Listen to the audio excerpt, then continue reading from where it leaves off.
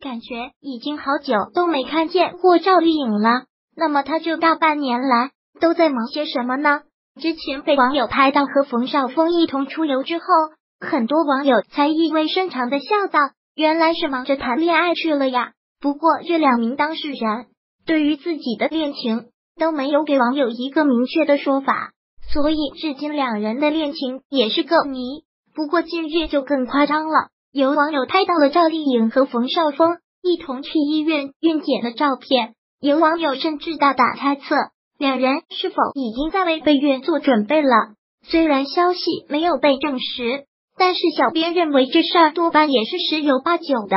因为一般情况下，农村姑娘在富二代面前几乎是毫无还手之力。众所周知，赵丽颖出身农村，家境和学历在娱乐圈都属于最低级的那样一个范围。而冯绍峰呢，可能很多人不知道。他的父亲是国内的一个石油大亨，非常的有钱，而且冯绍峰的前女友在娱乐圈也是多的数不胜数。冯绍峰的花心，在某种程度上，小编认为甚至不输给王思聪。如此一个花虫老手，要追到赵丽颖这样的一个女孩，其实就是易如反掌的事情。